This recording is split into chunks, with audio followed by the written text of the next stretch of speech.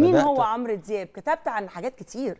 حضرتك كتبت عن حاجات كتير جدا. يعني. ذكرت آه، أسامي كتير وذكرت مراحل كتير وذكرت أعمال كتير. لو حابب نبتدي عن الجزئية بتاعت مين هو عمرو دياب ده آه، آه، وكتبت عن عمرو دياب مين هو عمرو دياب؟ وايه اللي اللي عمله عمرو دياب؟ وجه منين عمرو دياب؟ ووصل لإيه عمرو دياب؟ كلمني شوية عن عمرو دياب لأن إحنا بنتكلم عن الهضبة يعني. آه هو يعني هو صحيح هو آه، عمرو يعني- دياب آه، يعني يستحق التوقف عنه طبعا طبعا هي هي الحقيقة برضو هو الامانه هي ال- القوى الناعمه المصرية يعني آه.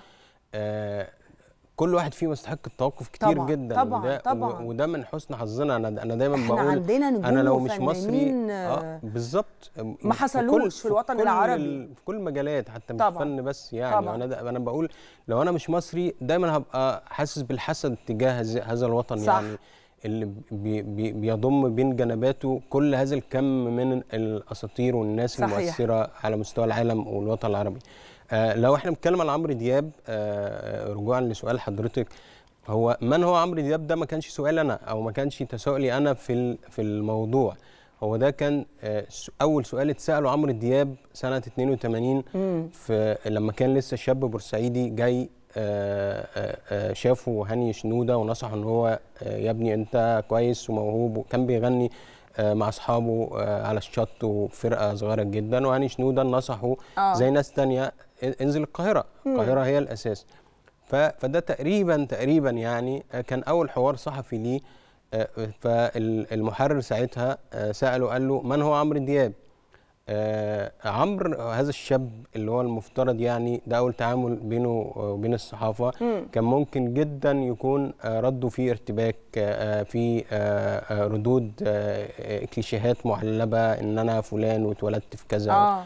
لا هو عمرو دياب كان آه، آه، رده أنا رصدت فيه آه، فكرة مشروعه اللي استمر بعد كده. يعني هو حتى الم- المحرر بيكمل له السؤال بيقول له أنا بسألك من هو عمرو دياب عشان أعرف أعمالك وأغانيك وبتاع وحاجات كده. قال له لا أنا ما أقدرش أقول لك من هو عمرو دياب. أنا لسه بقول آه، ببدأ وجمهور القاهرة ما يعرفنيش وأنا هستنى شغلي هو اللي يقول من هو عمرو دياب.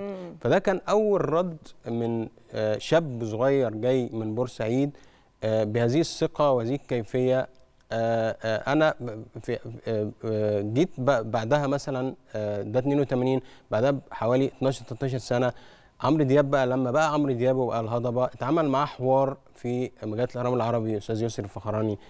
آه، آه، آه، سألوا أسئلة آه، لا آه، طريقة رده ما اتغيرتش. يعني هو آه، واحد مدرك هو عايز إيه من الأول. يعني آه، آه، اختلف اتفق مع عمرو دياب آه، يعجبك ما يعجبكش ما فيش أي مشكلة. يعني أنا ممكن على المستوى الشخصي مثلا يعني آه، ما كنتش بحب أغاني عمرو دياب أو ما كنتش بحب تيمة صوته بس ما أقدرش أقول ان عمرو دياب ده آه، آه، مش مشروع فني كبير يعني.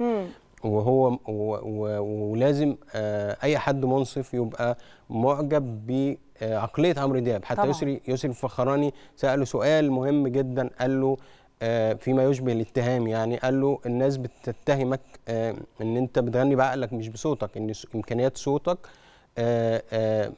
لا تستحق هذه المكانة لأن في ناس أحسن منك كتير. وطبعا ال- آه، العهد ده طبعا إحنا بنتكلم آه، فطاح العلي الحجار ومدحت صالح ومحمد الحلو طبعا نجوم كتير برضو طبعا جدا طبعا. وأصوات آه، خرافية. صحيح. إمكانياتها الصوتية يعني بالنسبة لصوت عمرو دياب. عمرو ما خدش السؤال على إنه اتهام. عمرو آه، آه، تعامل مع السؤال بذكاء شديد جدا زي تعامله مع السؤال الأول ليه. قبلها ب 13 سنة لا قال له أنا آه، أنا شايف إن دي ميزة إن أنا أغني بعقلي شايف إن دي ميزة. والمهم المعيار بالنسبة لي هو الجمهور. ما دام الجمهور حب طريقتي آه، في المسرح آه، في حركتي اللي هي ممكن تكون مش مش عاجبة بعض النقاد لكن الجمهور تفاعل معاها وأنا دي بالنسبة لي ميزة. فأنا كوني بغني بعقلي دي حاجة أنا بعتبرها حاجة تخصني يعني. فهو وده إن دل فبيدل على ذكائه. يعني بتغني بعقلك دي. مش اتهام فعلا هو حد ذكي جدا وحد قدر إن هو يتواصل مع كل الأجيال لحد النهارده بالظبط، من وقت ما. ابتدى لحد 2024 وهو بيتصدر القمة بالظبط في كل الأغاني اللي بيعملها اختلفنا. اتفقنا هو نمبر 1 وهو الأول في الغنى وده لأنه نجم مش لأنه بس صوته حلو لأن هو بيمتلك صحيح. كل صفات النجم مش شرط إنه يكون بس صوته صحيح. حلو دي قصة تانية